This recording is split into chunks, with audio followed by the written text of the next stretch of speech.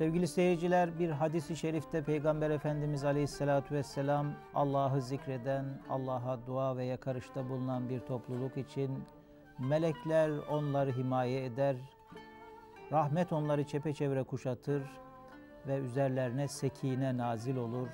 Cenab-ı Hak bu güzel manzarayı katında meleklere gösterir buyuruyor. Dua ve zikirde bulunmak Allah katında demek böyle bir anlam ifade ediyor. Evet bugün inşallah yeni bir dua ile tanışacağız. Bu duayı bize öğreten, bu duaya vesile olan Hazreti Abbas. Efendimiz sallallahu aleyhi ve sellemin amcası Hazreti Abbas Mekke'de Efendimiz'den 2-3 sene önce dünyaya gelir.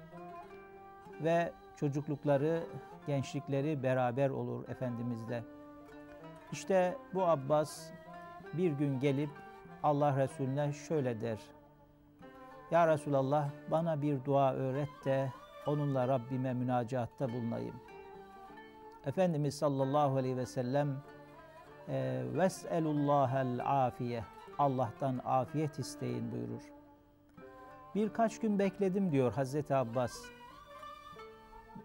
Ve sonra tekrar geldim Efendimiz'e Dedim ki ya Resulallah bana bir dua öğret de o dua ile Rabbime yakarışta bulunayım. Allah Resulü bu sefer ya Abbas ya amme Resulillah ey Abbas ey Resulullah'ın amcası Abbas Allah'tan afiyet isteyin buyurur. Evet Allah'tan afiyet isteme, af ve afiyet isteme. Bir gün Hazreti Ebu Bekir Efendimiz diyor ki Allah Resulü minbere çıktı. Orada hitap etti. Gözyaşlarıyla hitap ederken dedi ki Allah'tan afiyet isteyin. Evet Allah'tan afiyet isteyelim.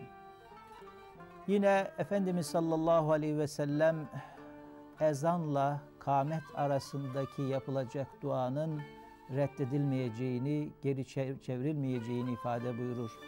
Bunun üzerine sahabe efendilerimiz Ya Resulallah nasıl dua edelim, ne isteyelim o zaman dediklerinde Allah'tan afiyet isteyin buyurur. Evet imandan sonra afiyet en önemli insana bahşedilen bir nimet afiyettir.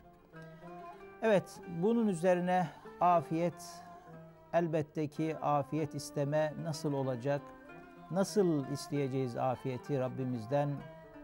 Bununla da ilgili şu duaları ifade edebiliriz. Allahümme inni es'elukel afve vel afiye fid dünya vel ahire. Allah'ım senden dünyada ve ahirette afiyet istiyorum.''